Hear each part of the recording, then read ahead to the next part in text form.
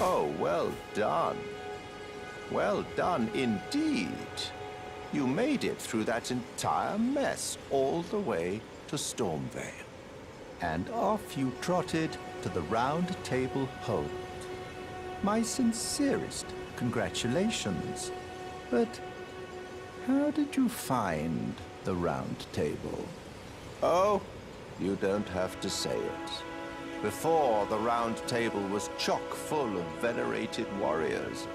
But now, it's home to puff chests and has-beens. I fear you've been terribly disappointed. I don't blame you. But still, the Round Table has its perks. Why not earn a seat? Fly straight and true, so to speak.